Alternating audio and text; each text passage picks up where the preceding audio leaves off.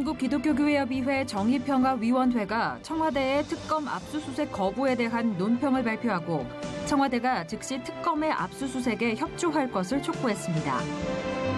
서울, 부산 등 전국 17개의 광역시도 기독교연합회가 7일 전국 각지의 교회에서 한국교회 회복과 부흥을 위한 전국 10시간 기도회를 개최했습니다. 기독교대한감리회 감리교 청년회 전국연합회가 지난 5일 독립문교회에서 정기총회를 개최하고 신임 회장의 광명교회 박은진 청년을 선출했습니다.